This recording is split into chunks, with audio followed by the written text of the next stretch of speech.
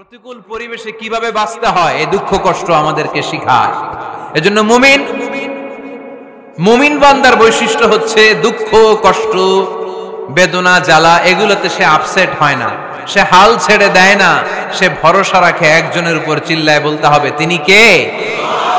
কারণ মুমিন জানে রাত্রি যত গভীর হয়, অন্ধকার তমানিসা ভেদ করে শুভে সাদিক হয়। মুমিন জানে গর্ভবতী নারীর পেটের ব্যথা যেই দিন বাড়তে থাকে, ওই দিনই নতুন মেহমান আগমনের সময় ঘনাতে থাকে। মুমিন জানে তার জীবনে দুঃখ, কষ্ট, বিপদ যত বাড়তে থাকে, সুখের দিন কাছে আসতে থাকে। এজন্য মুমিনের হারাবার কিছু নেই।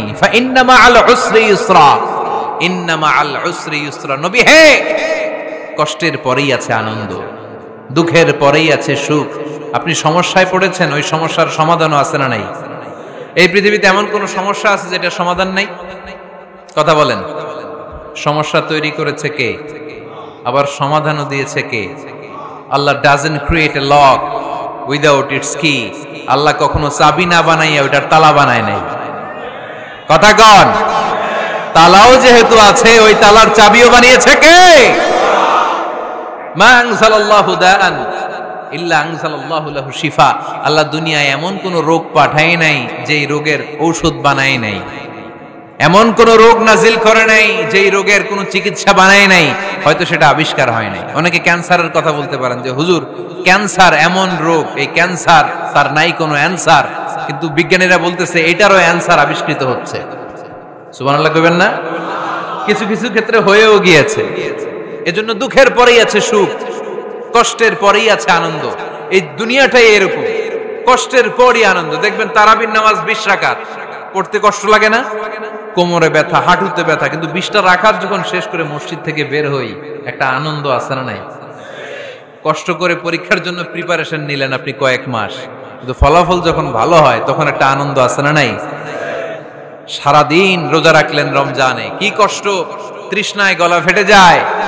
কিন্তু ইফতারির সময় যখন রুহাবজা শরবতটা খাই কেমন লাগে একটা আনন্দ আছে না নাই এজন্য আল্লাহ বললেন فإن مع العسر يسرا إن مع العسر يسرا ও নবী কষ্টের দিন মক্কায় অল্প কিছু দিন মদিনাতে আনন্দের দিন অপেক্ষা করছে আমাদের জীবনে যদি দুঃখ কষ্ট আসে আমরা ধৈর্য ধরব তাওয়াক্কুল করবো একজনের উপর তিনি কে কারণ আমরা বিশ্বাস করি কষ্টের দিন এটা চিরকালের জন্য নয়।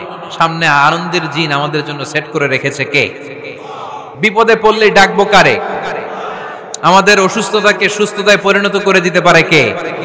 চাকরির জন্য পাগল পাড়া, চাকরি নাই, চাকরির ব্যবস্থা করে দিতে পারে কে?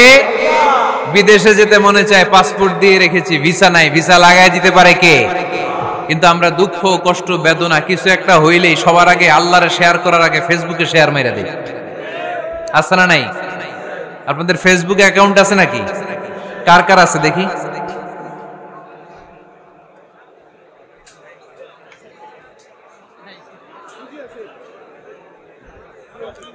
আছে আছে। এটার জন্য আমরা ভালো কাজে লাগাই। ঠিক কিনা আপনি চাইলেই এমন ভাবে ফেসবুক ফ্রেন্ড লিস্ট করতে পারেন, যারা ভালো ভালো জিনিস শেয়ার করে, যারা মোটিভেশনাল জিনিস শেয়ার করে। ইসলামের পক্ষে কথা বলে। আপনার এক একটা শেয়ারে অনেকের জীবন বেঁচে যেতে পারে, ঠিক কিনা? একজন মুমূর্ষ রোগীকে বাঁচাতে রক্তের প্রয়োজন, রক্তের গ্রুপ এ পজিটিভ।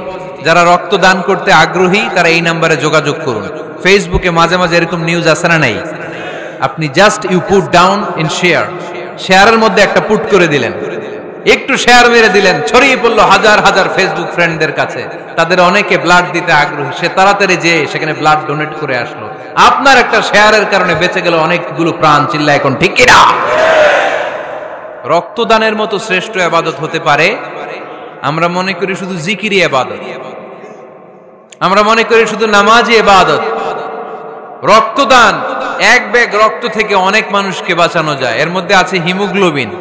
এর মধ্যে আছে প্লাটিলেট আছে প্লাজমা। রক্তে একটা উপাদান আছে প্লাজমা। নাম শুনছেন? আগুনে পোড়া রোগীকে বাঁচাতে এই প্লাজমা লাগে।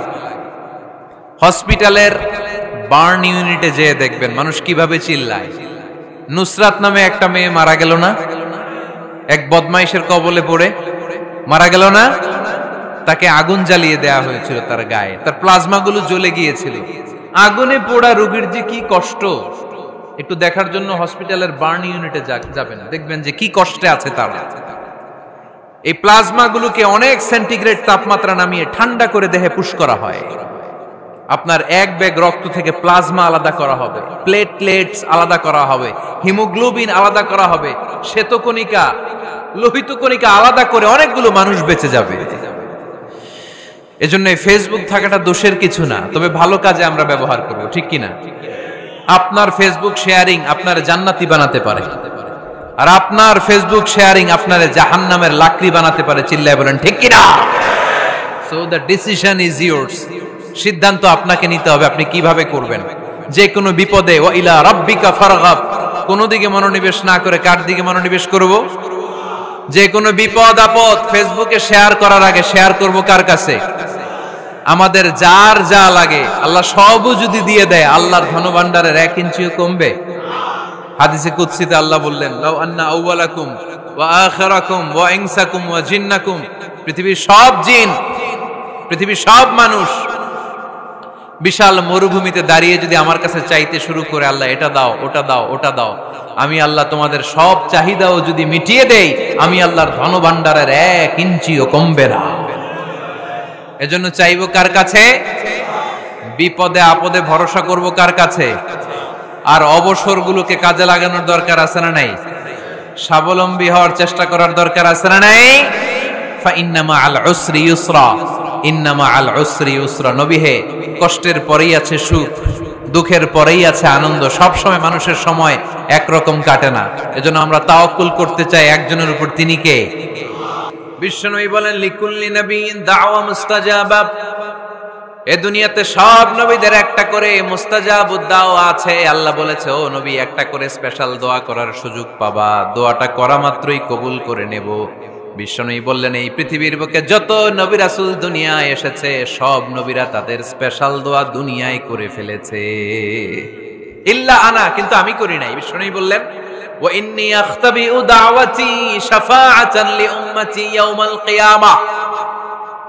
আমি আমার স্পেশাল দোয়াটা করি নাই। আমার স্পেশাল দোয়াটা আমি আমার গুনাহগার উম্মতকে বাঁচানোর জন্য কেয়ামত পর্যন্ত রেখে দিয়েছি। আমরা যেদিন বিপদে পড়ে যাব, যেদিন আমার আব্বা আমারে চিনবে না, আমি আমার আব্বারে চিনব না। নেতা তার কর্মীরে চিনবে না, কর্মী নেতারে চিনবে না, ঠিক কিনা? পীর সাহেব মরিদরে চিনবে না, মরিদ পীর সাহেবরে চিনবে না। স্বামী তার স্ত্রীরে চিনবে না, স্ত্রী তার স্বামীরে চিনবে না। নবী থেকে শুরু করে, অলি থেকে শুরু করে, শাহিদ থেকে শুরু করে সবার মুখে একটাই জিকির, ইয়া নফসি ইয়া নফসি ইয়া নফসি। আকাশের সূর্যটা যেদিন মাথার কাছে চলে আসবে, জমিনটা তামার জমিন হয়ে যাবে। সূর্যের তাপে মাথার মগজগুলো ভাতের মাড়ের মতো গলে গলে নাকের ছিদ্র, কানের ছিদ্র দিয়ে টপ টপ করে বেয়ে বেয়ে নিচে পড়বে। ওই কঠিন দিনে কেউ কাউরে চিনবে না। বিষ্ণু বললেন, ওই দোয়াটা আমি দুনিয়ায় করি নাই। আমি বদরের যুদ্ধে মার খেয়েছি, উহুদের যুদ্ধে দাঁত ভেঙেছি, আমি না খেয়ে পেটে পাথর বেঁধেছি। আমি যদি ওই দিন দোয়া করতাম, আল্লাহ দোয়া কবুল করে নিত। জান্নাতি খাবার দিয়ে দিত। আমার মায়ের খাওয়া লাগতো না। তাইফে আমার রক্ত ঝরতো না। দোয়া করলেই কবুল, কিন্তু ওই দোয়াটা আমি দুনিয়ায় করি নাই। ওই দোয়াটা আমার জন্য, আপনার জন্য, আমাদের জন্য বিশ্বনবী জমা রেখে দিয়েছে।